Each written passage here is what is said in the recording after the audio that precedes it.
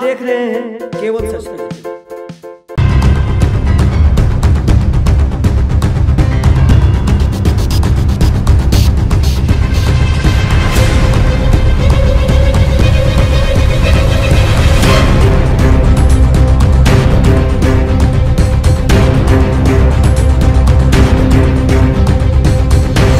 मैं हूँ धीरज और आप देख रहे हैं केवल सच न्यूज़। अभी हम चतरा जिला के टंडवा प्रखंड में वृंदा गाँव में हैं, जहाँ के झारखंड और बिहार के एकत्रित राज्य था, जिनके मुख्यमंत्री तीसरा कृष्ण बल्ला सहाय यहाँ चर्चा करने जिसके बारे में आज तक कोई चर्चा नहीं था। हम लोग इस जगह पे अभी हैं और यहाँ के कुछ ग्रामीण लोग भी हैं, हम उनसे बातचीत करेंगे और विशेष जानकारी हम लोग को बताएँगे। अभी चलते हैं हम लोग उस गेस्ट हाउस की तरफ़। यहाँ के एक स्थानीय हैं वृंदा गाँव के और इस मुख्यमंत्री के साथ साथ एक स्वतंत्र सेनानी भी रहे और इसी को विशेष जानकारी हमको बताएँगे। यहाँ के ग्रामीणों के माध्यम से सुनेंगे। मेरा नाम नागोराम हुआ, ग्राम वृंदा।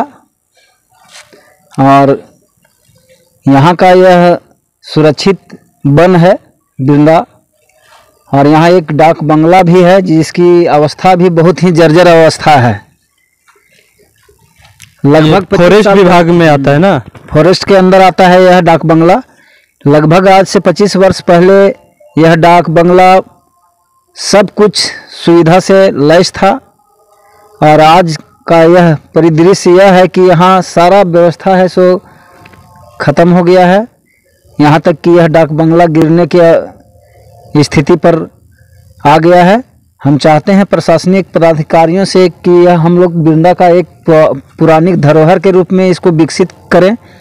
किसी भी माध्यम से, किसी भी योजना के माध्यम से इसका अगर यदि विकास होता है तो हमारे गाँव ही नहीं, बल्कि पूरे प्रखंड में एक मिसाल कायम होगी। और पहले भी यह मिसाल कायम रहा है कि वृंदा का जब यह डाक बंगला एकदम अपने जब 25 साल पहले अवस्था में था तो यहाँ मंत्री, विधायक लोग आते थे और यहाँ रहकर जाते थे।